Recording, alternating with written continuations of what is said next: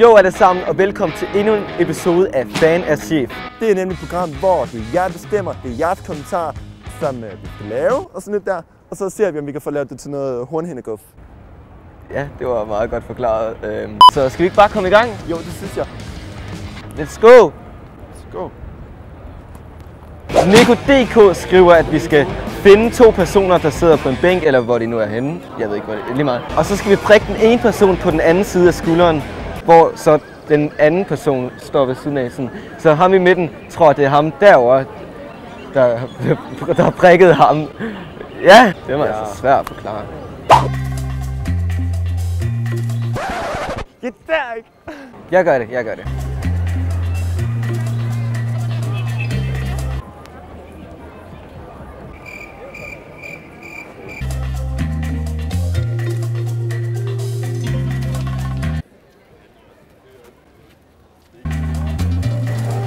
Ej, det er for tæt på kameraet. Det duer ikke.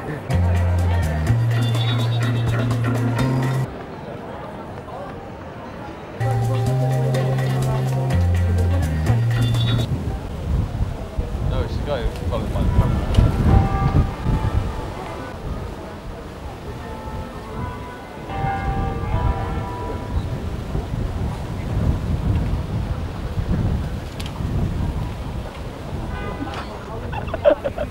Mathilde har skrevet, at vi skal, vi skal gå ud og i Tag en offentligheden. tilfældig person i hånden, og så skal vi gå videre med personen.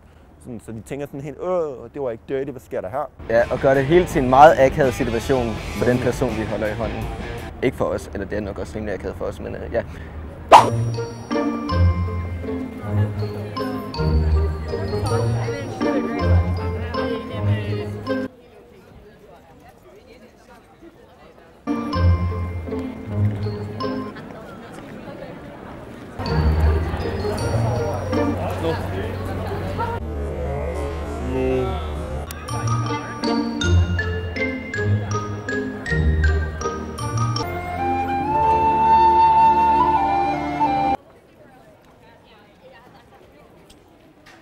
Daddy!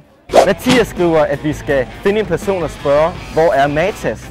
Og når personen så peger i en anden retning, Så går vi den modsatte retning. Ja, bare, okay. Hey, undskyld. Undskyld, ved du, hvor Matas ligger? Oh non, je comprends pas.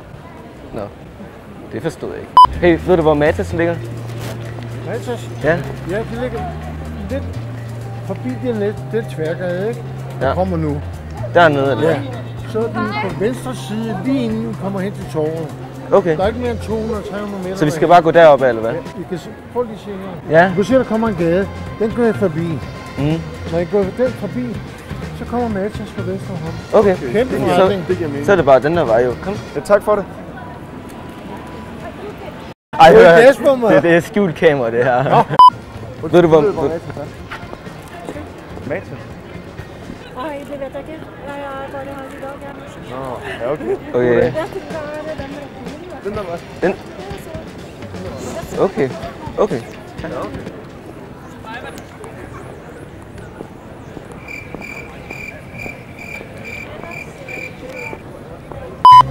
Det der, dernede. Hvor der er noget?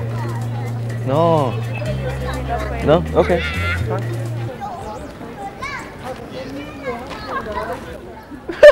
Chef og hund. Det var så det for dette afsnit af Fan af Chef. I kan stille os nye udfordringer ved at kommentere nede i kommentaren til YouTube-videoen her.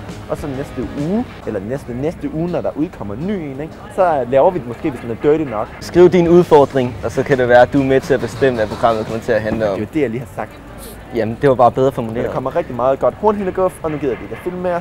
Hej!